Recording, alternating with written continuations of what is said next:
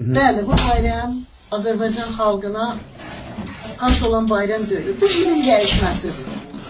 Bu ilin dəyişməsidir. İkincisi də ki, şəhid anası əgər gecə sabaha kimi məzarlıqda oturursa, oğlunun başdaşının dibində oturub ağlayırsa, o ananın bayramı olur. Bayram deyil, o bayram deyil. Mən belə gəlir ki, o bayram deyil, o keyf eləyənlərin bayramıdır. Şəhid anaların bayramları deyil. İkincisi də ki, bir belə səhərə kimi partapart atdılar ha. Onları heç bir evdə e, istehsal olunmamışdı. O hardasa tamojilərdən keçib gəlirdi. Eləmi? Tamojilərdən keçib gəlir. Ona heç bir ailə öz evində istehsal eləmirdi. Deməli, onları, onları gətirib atmaqdan fikirləri bu idi ki, şəhid anaları məzarlıqda oturubdu. Analar oğlanların başdaşının dibində oturub səhərək mallayır, anaları atırlarmış da yəqin. Bəlkə də anaları məhv eləmək istəyirlərmiş. Elədilər də. Mənə elə gəlir ki, bu gecə anaları məhv edir. Şəhid anaları məhv edir. O getsin, o getsin. Bir də ki, mənim oğlum aprel döyüşlərində, aprel döyüşlərindən sonra istifaya ərizə yazmışdı. Və istifa ərizəsini gətirib gəlmişdi Müdafiə Nazirinə. Hansı nə səbəbə yazmışdı? Yazmışdı, bilmirəm. Özləri araşdırsınlar, görək niyə yazmışdı. Ərizəni açsınlar, oxusunlar, görək nəyə yazmışdı. Aprel döyüşlərindən sonra istifaya ərizə yazmışdı. Və ərizəni nə elədilir? Ərzəni cırıblarsa da kitabdan qeydiyyatdan keçmişdi. Onu çağırsınlar, araşdırsınlar ki, mənim oğlum niyə istifaya ərizə yazmışdı. Və ayın 15-i, iyul ayının 15-i mənim oğlumun əmrinə qol çəkilmişdi, Müdafiə Nazirliyinə işə gələcəkdi. Məni də ümidli eləmişdi ki, ayın 11-i mənlə danışıb, ana ayın 15-i gəlirəm, sevinə-sevinə mənlə danışıb. 14-ü mənim oğlumun tabutunu niyə yatdılar?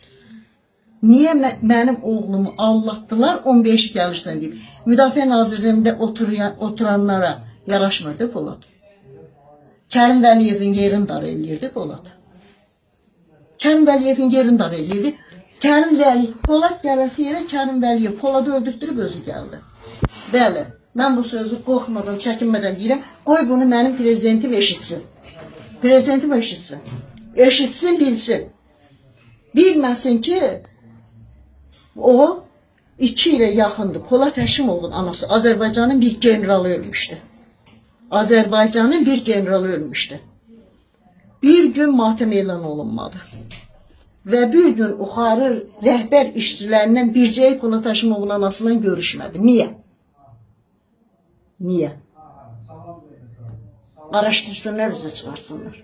Uşağımın istifa ərzəsi yazmışdı, ha, həmən o hansı yerə gələcəkdi, ha, onun yerinə indi kimsə keçibdi, həmən ərzəni araşdırsınlar, üzə çıxarsınlar. Onu tələb eləyirəm. Axırıncı damla gözümü bu torpağa yumuncanda onu tələb eləyəcəm.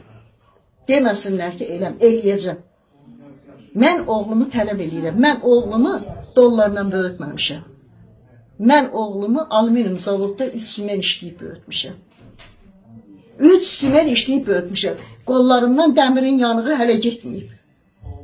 Oğlumu niyə öldürdülər desinlər. Niyə vurdular desinlər. Niyə vurdurdular desinlər. Bilmirəm. Nəysə desinlər. Açıqlasınlar. Açıqlanmayını istəyirəm. Müdafiə naziridir. Zakir Həsənov. Müdafiə naziridir Zakir Həsənov. Açıqlasın. Müdafiə naziri 2 ildir mənim oğlum şəhid olandan sonra gəldi bir dəfə gördü mü məni? Bildimi ki, mən nə, nə istəyirəm, nə demək istəyirəm. Gördü mü? Görmədi ki, açıqlasın. Açıqlasın Müdafiə Naziri. Açıqla. Niyə Müdafiə Nazirinin üç dənə oğlu var? Niyə biri vuruşmadı Qarabağ müharibəsində? Torpaq təhcir bu şəhid, kasıb şəhidlərin anası. Əsas günahkarı kimdə görürsünüz? Müdafiə Nazirində. Nazirdə. Əsas nazirdə mənim evimin gəlib qapısını döyən olsa, mən evin yiyəsi mənəm, mən açmasam kim aça bilər? Mən tutmuşum, heç kəs o qapını açmaz, heç kəs də icazə vermişim, heç kəs şahid keçə bilməz. Bəli, mən nazir, müdafiə nazirində görürəm. Müdafiə naziri bir il, il, iki ilə yaxınlaşır. İl yarımdır, mənim oğlum şəhid olan. Bircə dəfə gəldi, qapını döydü mü? Niyə gəlmədi?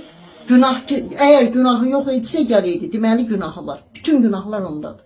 Günahı var gəlmədi. Mən bu sözü mən deyirəm, Polat Həşimovun anası deyir.